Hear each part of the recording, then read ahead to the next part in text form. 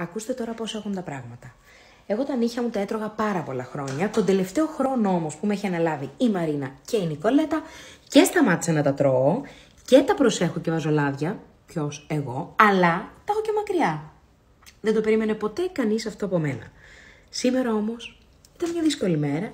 Οργανώνονται κάποια πράγματα και είχα ένα παραπάνω άγχος. Είχε χαλάσει το ένα, έφαγα το ένα, βγάζω και το άλλο.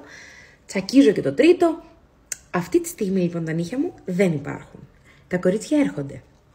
Εγώ τρέμω που θα τα αντικρίσουν αυτά. Τους έχω πάρει κάτι δωράκια για να τους ξεγελάσω. Ε, όταν εννοώ όμως τα έχω καταστρέψει, μισό. Εννοώ ότι η αλήθεια τα έχω καταστρέψει. Δηλαδή πάρα πολύ, δεν υπάρχουν. Τώρα λοιπόν θα δούμε ποια είναι η αντίδρασή τους με το που φτάσουν. Θα τους περιμένω με τα δωράκια στην πόρτα. Αυτά είναι τα αποδεικτικά. Εντάξει, ντροπή, ντροπή, ντροπή. Το ξέρω δηλαδή ότι δεν θα έπρεπε να έχει συμβεί, αλλά ήταν μια τέτοια μέρα. Λοιπόν, κάντε υπομονή να δούμε την αντίδρασή τους και πώς θα τα μετατρέψουν σε συγκλονιστικά νύχια γενεθλίων, γιατί ήρθε αυτή η εβδομάδα. Μόλις χτύπησαν κουδούνι και τις περιμένω. Κορίτσια, εκεί είναι κάτι δωράκια για εσάς. Εκεί, εκεί. Ναι. Εκεί πάνω είναι τα νύχια μου. Ωραίο. Δωράκι για μας. Και αυτό δωράκι για μας. Ναι, απλά είπα στο TikTok ότι θα σας βγάζω βίντεο για να είστε ψύχρεμες. Α, έτσι είμαστε ψυχρεμές. Μισό λεπτό. Σας παρακαλώ, Πώς συγγνώμη. μου αφήσεις. Α,